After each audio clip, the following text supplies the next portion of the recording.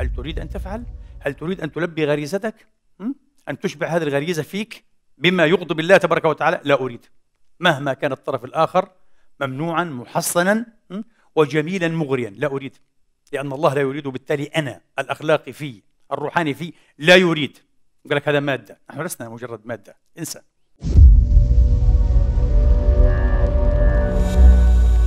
قرار الرفض في نهاية المطاف هو قرار إرادي. والإرادة هي الماثلة والحاضرة هنا. إرادة. من قال أن الإرادة أو أن الإرادة ينبغي أن تكون دائما إيه بالإيجاب؟ أبدا. الإرادة أريد أن أفعل أريد ألا أفعل. أليس كذلك؟ أحيانا يتكبد الإنسان أكلافا ضخمة يدفعها. لماذا؟ لأنه يقول لا. ومعنى قوله لا أنه يريد أن لا يخضع.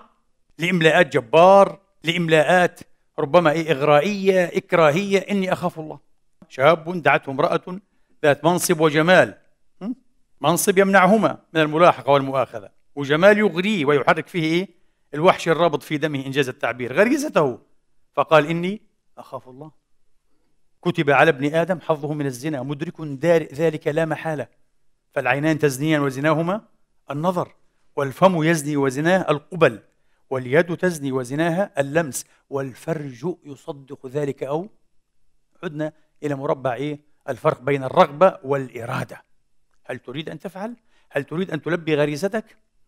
أن تشبع هذه الغريزة فيك بما يغضب الله تبارك وتعالى؟ لا أريد مهما كان الطرف الآخر ممنوعا محصنا وجميلا مغريا لا أريد لأن الله لا يريد بالتالي أنا الأخلاقي فيه الروحاني فيه لا يريد يقول لك هذا مادة. نحن لسنا مجرد مادة. انسى نحن شيء يتعالى على المادة. لماذا أدفع حياتي أحيانا ثمنا؟ لماذا أضحي ربما بعشرات الملايين من الدولارات؟ تعرض علي وتدفع لي طواعية وسماحا. مقابل أن أتبنى موقفا معينا. لن يلحق بي على المستوى الشخصي الضرر. سيلحق بآخرين. لكن أنا سأحوز الملايين. لا أفعل. مع أنني فقير. مع أنني مدين. هذا هو الإنسان. هذه عظمة الإنسان.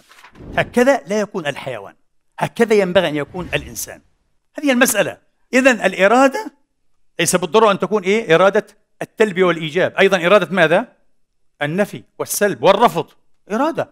وهي بنت الوعي. وهي بنت الوعي.